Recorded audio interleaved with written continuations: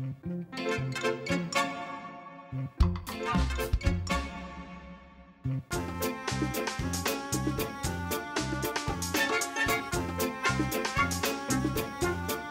evening, ladies and gentlemen. I'm Michael Sterling, and welcome to Broadway World TV. We're coming to you from the Los Angeles Music Center. Very special evening. Tonight, the Center Theater Group is hosting the opening of Mary Poppins, the U.S. National Tour, which is sitting down here at the Ahmanson Theater right behind me for four weeks. Now, earlier today, my producer Jerry Evans and I had the pleasure of coming down to the theater and talking to two of the show's stars. I'm not going to give it away too much right here, but I will tell you one of them is Bert the Chimney Sweep, and the other, I'm going to leave that up to you. I have the pleasure of sitting here with Nicolas Dromard, who is starring in the U.S. National Tour of Mary Poppins, which opens at the Ahmanson Theater this evening, August 10th. Welcome to Broadway World. Thank you. It is so nice to meet you in person. Thank you. And uh, I cannot tell you how excited that I am personally, Mm-hmm. and my producer actually, to see this production Yeah. this evening. We're excited to be here. And I'm sure that you probably hear that from every single person that you encounter, uh, being of, a, of whatever age, Yeah. whether it's uh, a certain age or very younger, uh, you know, below that. Uh, I certainly know that I sat in a movie theater on a number of occasions and watched this film to sort of, to see it come to life on the stage. Yeah. Has uh, got to be just as special as the movie was, I'm sure, perhaps more. Oh, yeah. It, it's even more special. And like you said, you know, it's, it's a show for all ages. Everyone loves it. The kids love it. The adults love it. Even the third generation, the grandparents love it. It's, it's amazing to see how many people we get to influence and touch and, you know, affect their lives on a nightly basis. And there's that great connection between the stage and the audience. And that makes them much more special. Well, let's talk about the music first. Yeah. The the wonderful score uh, of the original score, of course, from the motion picture being written by the Sherman brothers. Yes. And uh, Richard Sherman, I believe, is actually coming to the opening this Yes, evening, and I hope you have the opportunity to meet him. I'm Oh, sure you I've will. met him If many you- times. Oh, you have? Oh, yeah, Oh, okay. I've there you many go. times.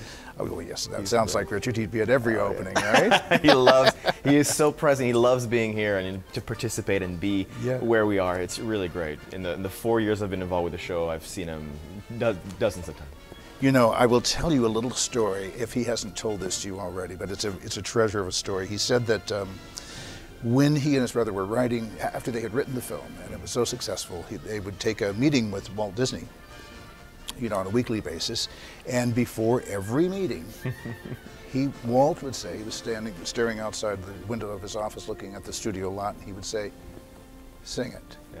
play, Play it. it. And what was that song? feed the birds That's right. yeah That's right. yeah it was walt's favorite song So every meeting started with that opening. Isn't that just amazing? It's, it's isn't it? amazing. Yeah, I, I would go for dinner with uh, with uh, with Richard Sherman and just have some amazing, like the stories that come out of his mouth. Like it's just incredible stories of Walt and, and working at the studio with his brother, and oh, it's incredible. Yeah. So for you to go into something so iconic Mm-hmm. as an actor to, to, to be a part of this production, you did it on Broadway. Mm-hmm. You started in the ensemble on Broadway, is that That's correct? right, and yeah. then you assumed the role that you're playing now. That's right. And then you did the first national tour as well. Yep. And now you're doing a second national tour. That's right. That's right. Did it ever occur to you that this was going to be a part of your life? When once the show, Never. No. I never, I didn't, I didn't watch the movie when I was, you know, eight or ten, and said, "Hey, I'm going to do that musical one day." Yeah. that never occurred. And I mean, because it's inevitable that it would become a musical at some yeah, well, one would hope. I mean, there's so many great movies that that are Disney, like Newsies, finally is a musical, and that should have been musical, you know, 20 years ago. It's, it's mm-hmm. incredible.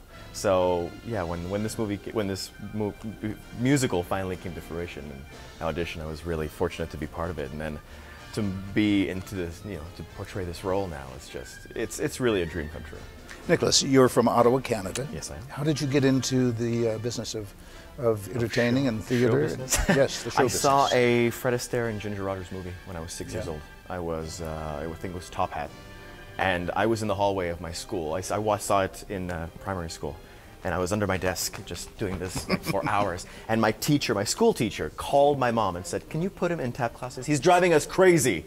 so she did, and then uh, I did jazz. I studied ballet, and then I did community theater in my hometown, and then graduated from high school, went to New York, and here I am today. Never looked back. And your parents were clearly supportive of that, Yes, which is very they've important for always- young people wanting to go into this business. Not Yes, everybody's parents do that. Yeah, yeah. They've always been very supportive, and my parents have come and seen me in all my shows, and I think my mom, my mother is coming again to opening night. I think it's her 23rd time seeing the show. So. So she's flying in from Canada. Is she still Yeah. there in Canada? Yeah, yeah, she's still there. Wow. Yeah, yeah. And has she ever been to Los Angeles? Yes, Oh, uh, she I was here with Mamma Mia, so she came and saw me then. I was here with Wicked, so she came and saw me then All right, as well. all right, so all right. So she's uh, and she's not a backstage mother or anything like that. no, no. She's a very supportive mother, but with the barrier, not a crazy stage. mother. Nice.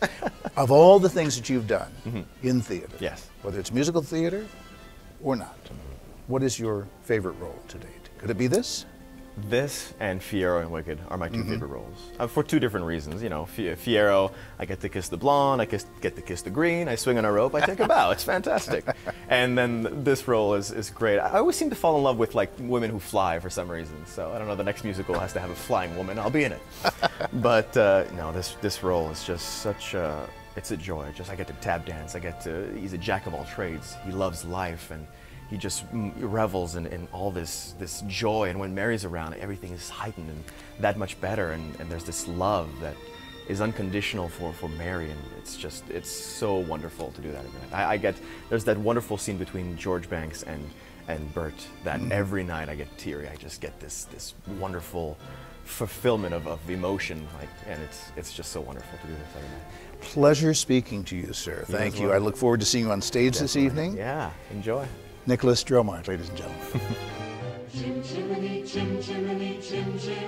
Some guys have all the luck, and I'm one of them. I am sitting here with the beautiful Rachel Wallace, also known as Mary Poppins. Hello. Hi. How are you? Welcome to Broadway World. Thank you so much for having me. I'm so excited that you're here. It's we had I think the most amazing response we've ever had from an audience last night in our first preview. So Yes.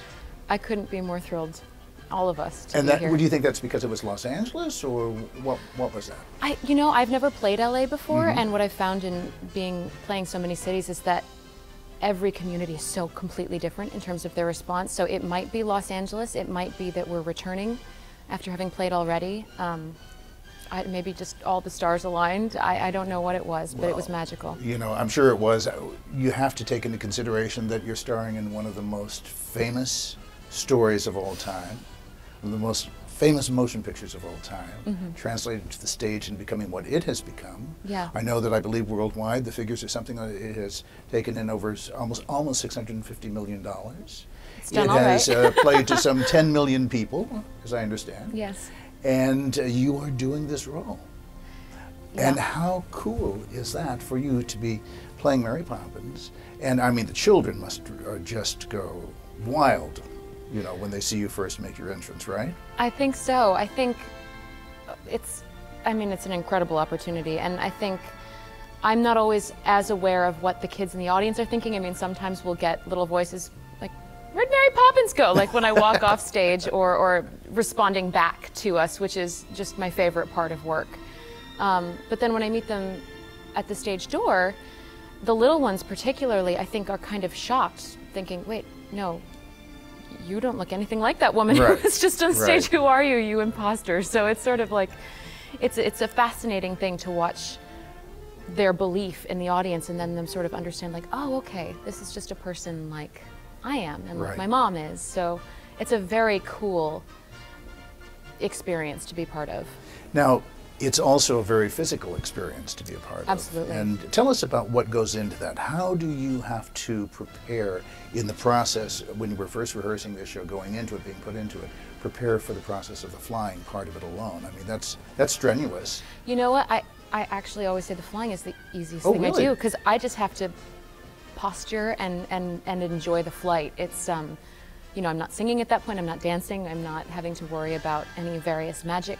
Mm-hmm. Um, so that's a part when I really just get to sort of be really, really, really present and, and enjoy the, the ride. But the, um, it's certainly an incredibly physical show and very physically demanding role.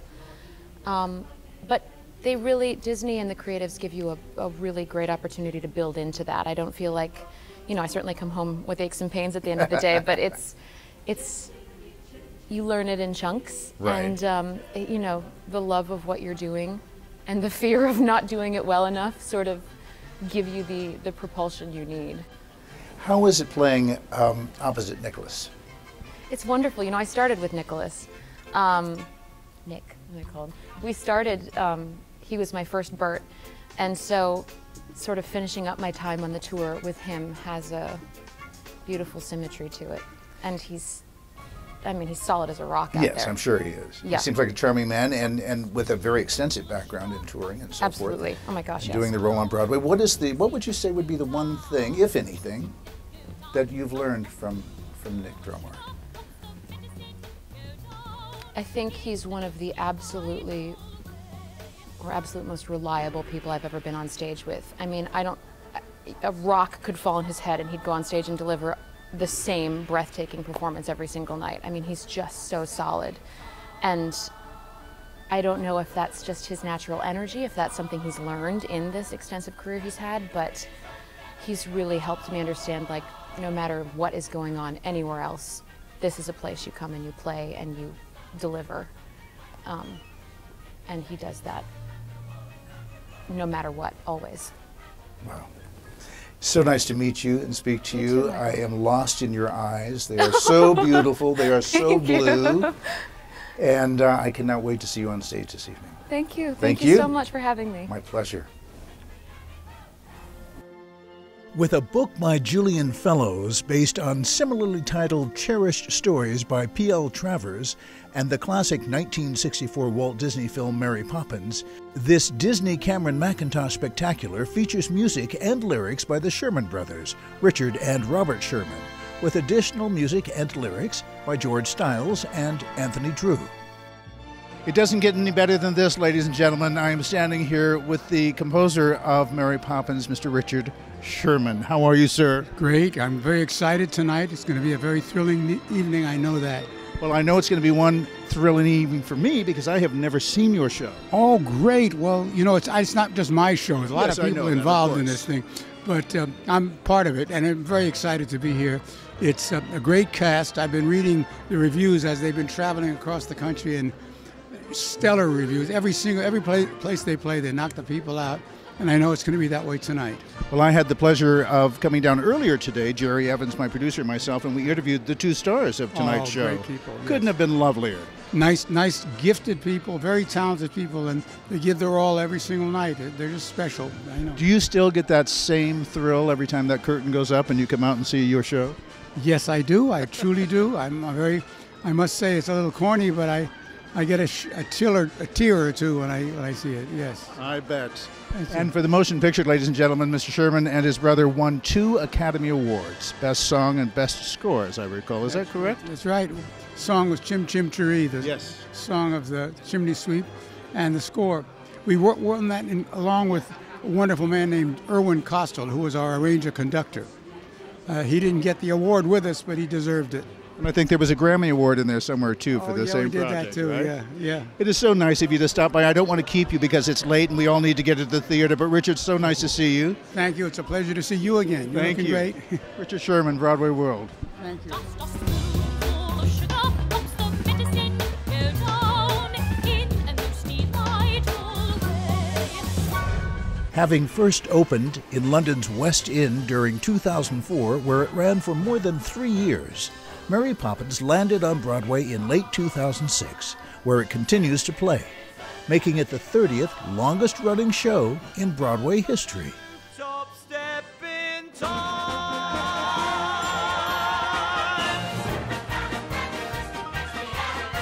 With four productions currently running on three continents, Mary Poppins has cast not only her spell on adoring audiences at the Ahmanson Theater in Los Angeles through September 2nd, but will continue her high flying trek across the United States well into 2013.